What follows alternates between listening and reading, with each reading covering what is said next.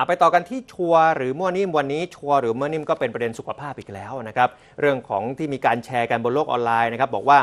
กินแล้วนอนนะเชื่อว่าหลายคนเป็นแบบนี้นะคือกินแล้วนอนเนี่ยทำให้เสี่ยงกับการเกิดโรคมะเร็งหลอดเลือดหรออะจะชัวร์หรือมั่วนิ่มไปตรวจสอบกันก่อนนะครับ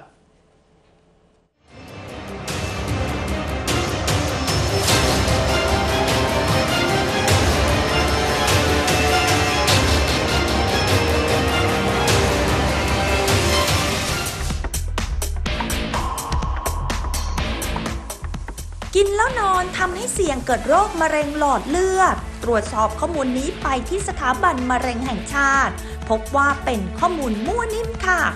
ยังไม่มีหลักฐานที่ยืนยันแน่ชัด ว่าการกินแล้วนอนเสี่ยงเกิดเป็นมะเร็งหลอดเลือด ซึ่งพฤติกรรมกินแล้วนอน เป็นพฤติกรรมที่ส่งผลกระทบต่อสุขภาพหลายด้าน โดยเฉพาะอาการแสบร้อนกลางอกและอาการกรดไหลย้อย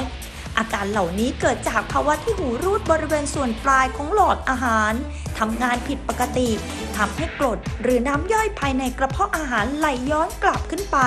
บริเวณหลอดอาหาร ส่งผลให้เกิดการระคายเคือง และอักเสบเรื้อรัง บริเวณหลอดอาหารและบริเวณกล่องเสียง นอกจากนี้พฤติกรรมกินแล้วนอน อาจส่งผลให้เกิดโรคนอนไม่หลับ โรคอ้วน จึงควรปรับพฤติกรรม โดยเว้นระยะเวลาการรับประทานอาหาร และเวลานอนให้ห่างกันอย่างน้อย 2-3 ชั่วโมงค่ะ